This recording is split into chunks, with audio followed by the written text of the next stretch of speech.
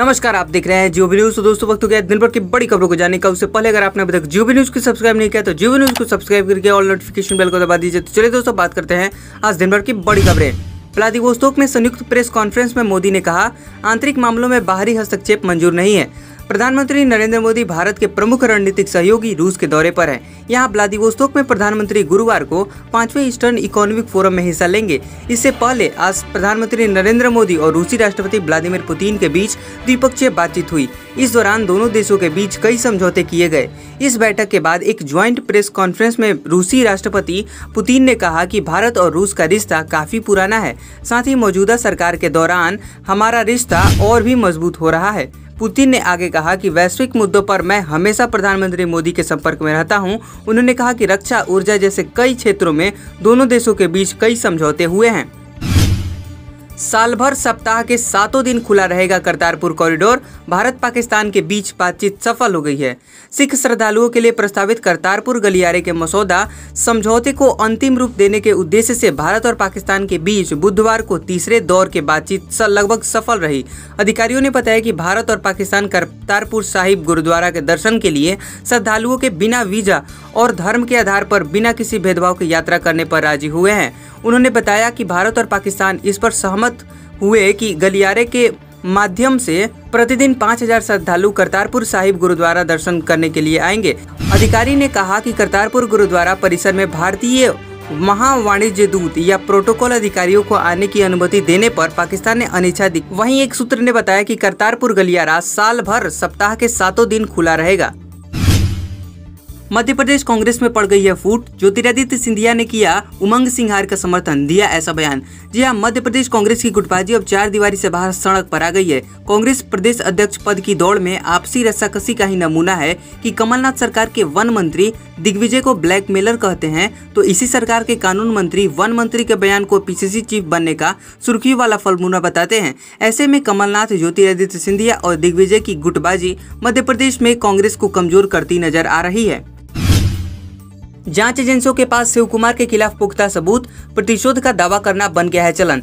जी हाँ, जाँच एजेंसियों के पास कर्नाटक के पूर्व मंत्री डी के शिव कुमार के खिलाफ पुख्ता सबूत होने का दावा करते हुए भाजपा ने बुधवार को उनकी गिरफ्तारी के पीछे राजनीतिक प्रतिशोध के कांग्रेस के आरोपों को नकार दिया है।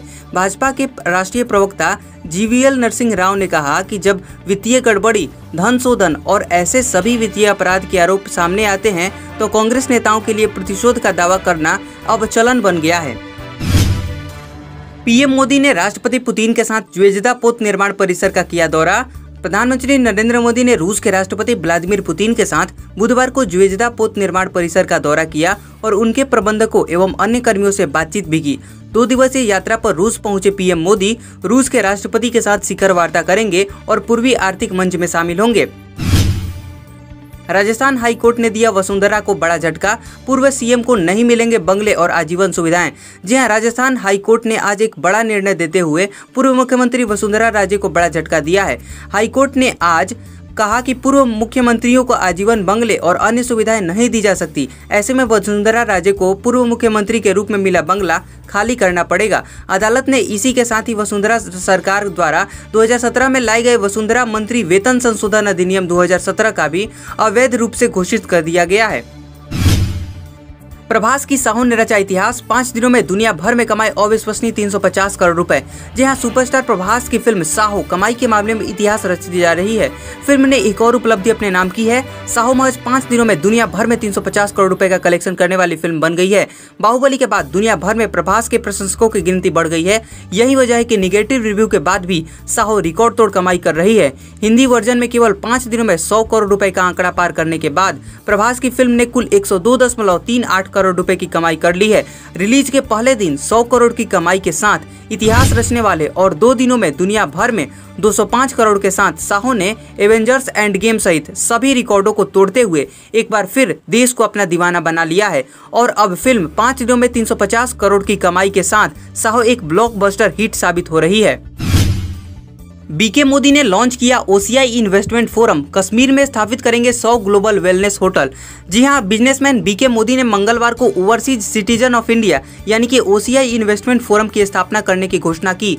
ओसीआई इन्वेस्टर फोरम के चेयरमैन के रूप में मोदी ने प्रस्तावित फंड का आकार अगले पाँच साल में सौ अरब डॉलर तक पहुँच जाएगी। यह फोरम भारत में विभिन्न व्यावसायिक क्षेत्रों में ओवरसीज द्वारा वैश्विक आर्थिक निवेश को बढ़ावा देने पर ध्यान केंद्रित करेगा।